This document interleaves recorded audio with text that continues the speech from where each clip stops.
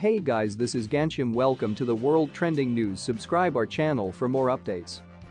Series of earthquakes in Baja California, shaking reported in San Diego, and Yuma Yuma Arizona, 3 TV CBS 5, a series of earthquakes occurred in Baja California on Monday morning, and it was felt in the Yuma area. The USGS reports a magnitude 4.4 and two magnitude 5.1 earthquakes were located east of Maneadero, Baja California. Shaking was widely reported in San Diego, and a report of shaking was indicated near Yuma. There are no reports of any injuries or severe damage at this time. Yuma is about a three-hour drive from Baja California